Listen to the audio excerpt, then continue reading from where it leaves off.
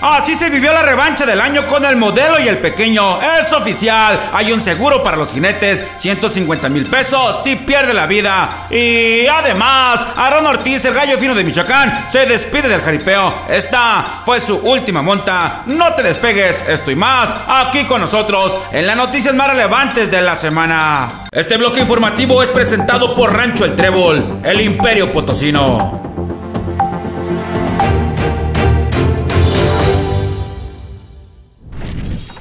A lo que va del año se ha visto de todo un poco en el jaripeo. Enfrentamientos entre ganaderías, entre jinetes y lo de caza. La batalla entre el jinete y el toro, algo que siempre estará presente. Como muchos ubicarán, en Estados Unidos, justamente en King City este año, se vivió uno de los retos más esperados. El jinete pequeño gran guerrero contra el toro rey de México. El modelo de Rancho Barriga. Todos saben el resultado. Cayó pequeño. Todos querían la revancha. Todos la esperaban y quizás el que más la quería era pequeño, se analizó, se pensó esta revancha y se tenía que elegir un lugar y una fecha bastante especial. Y fue en el aniversario de Rancho Barriga en la Monumental de Morelia, Michoacán. Ahí, ahí se vivió esta gran revancha. Vayamos a ver las imágenes.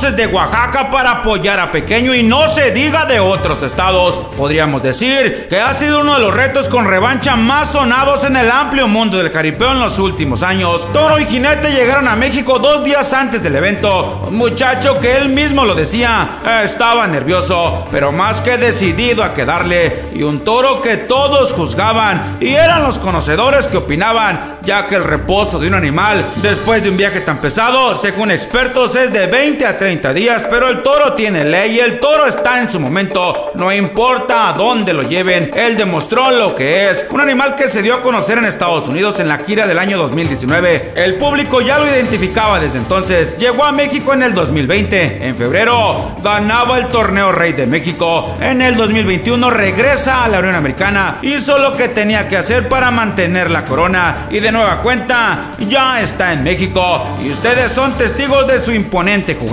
un toro sí, americano, pero ya naturalizado en México. Tiene papeles para ir y venir. Todos lo quieren ver y hay jinetes que lo quieren montar. Entre ellos otra vez pequeño gran guerrero, ya que dice que quiere una tercera, que la tercera es la vencida. ¿Ustedes qué opinan? ¿En una tercera oportunidad le quedará o qué pasará?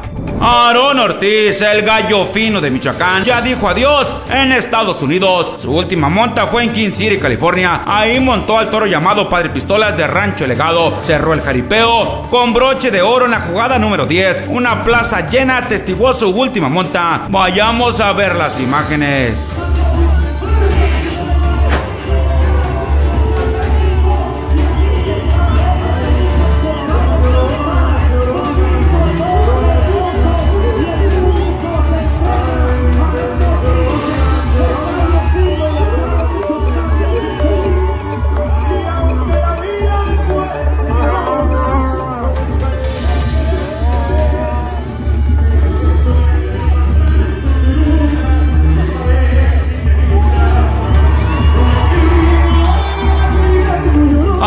Ortiz dice adiós al jaripeo. No más montas después de 25 años. Una trayectoria impecable. No cualquiera se retira de este modo. Por algo le dicen el gallo fino. Afortunados de quienes presenciaron sus jugadas en la Unión Americana en toda su gira de despedida. Solo cayó dos veces de 21 presentaciones que tuvo. Vaya récord de este jinete. Pero no se puede despedir del todo sin venir a México. México, lugar que lo vio nacer Charo, Michoacán, ha recibido infinidad de invitaciones para montar en las plazas más relevantes de la República y él ya lo analizó y claro que va a venir a despedirse, solo será en algunas cuantas plazas, comenta que quizás unas tres o cuatro fechas quisiéramos que visitara cada uno de los estados y es que no es que no quiera, pero su familia lo espera. Con 25 años de trayectoria consideramos que ya dio mucho al jaripeo y bien merecido, tiene su retiro. El cuerpo ya no es el mismo como cuando comenzó y exigirle más sería contraproducente. Aquí te informaremos cuándo y en dónde serán sus presentaciones en México. ¿Qué tal amigos? Los saludos amigos Ron Ortiz. El día de hoy quiero hacer este video para agradecerle a todo el público que dio cita en todos los lugares donde, en los estados donde me presenté haciendo gira en Rancho Delgado, porque sí es seguro de que después vamos a México a realizar también dos o tres fechas más allá. No sabemos qué lugares, pero sí sabemos que el cierre es en Charo, Michoacán. Como les digo, bien agradecido por todos ustedes, por el apoyo de estos 25 años que brindaron tanto en México como aquí en Estados Unidos. No tengo palabras para decirles, pero sí, sí, con todo cariño, muchas gracias.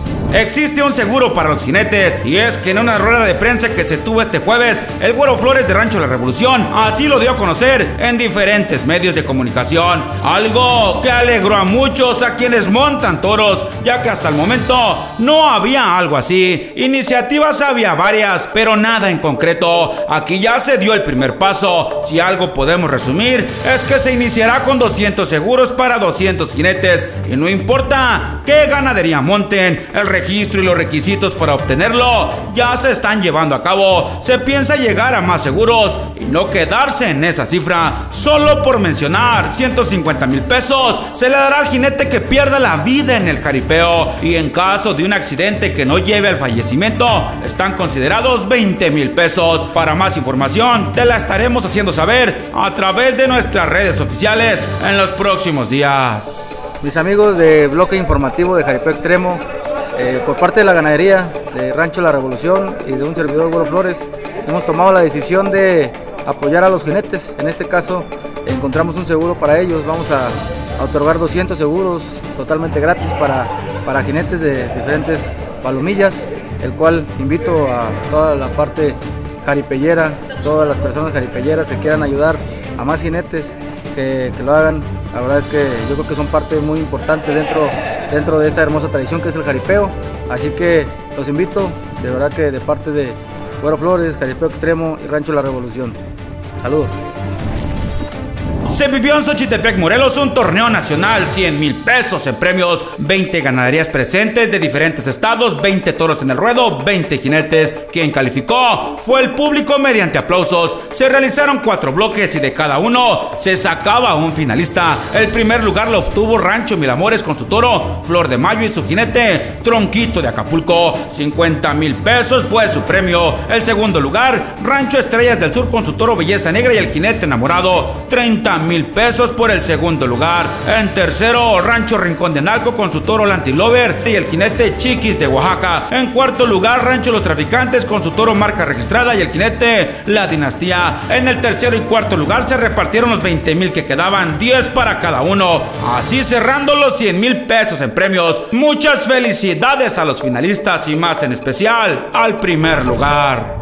La cuarta eliminatoria del torneo Rey de México fue toda una realidad. Se llevó a cabo en Cocoyoc, Morelos. Estos cinco jinetes fueron los que participaron. Solo uno obtuvo el pase al acumular más puntos y fue Cierreño de Quijile en primer lugar. Aquí te mostramos la tabla de resultados. Claro que había favoritos, pero solo pasa quien cumpla más con las normas que dicta el reglamento. Y en Estados Unidos también se vivía el torneo Rey de México. Apenas comienza y fue todo un éxito. Cinco también se disputaban pasar al siguiente nivel. Simba de Tepalcinco, Bandido de Mancuernas, Willy Díaz, Moroco de Pátzcuaro y Cuate de Villajuárez. Quien acumuló más puntos, Cuate de Villajuárez con 276.5 puntos, dejando atrás a los otros cuatro, entre ellos al Gran Moroco de Pátzcuaro. En este torneo solo se ven a los mejores. No te pierdas las próximas eliminatorias a través de Jaripeo Extremo Adictos al Peligro. ¿Quién dijo miedo? En Estados Unidos y México juegan los del Imperio Potosino de Rancho El Trébol. La suerte es el resultado de la suma de intentos, fracasos y perseverancia.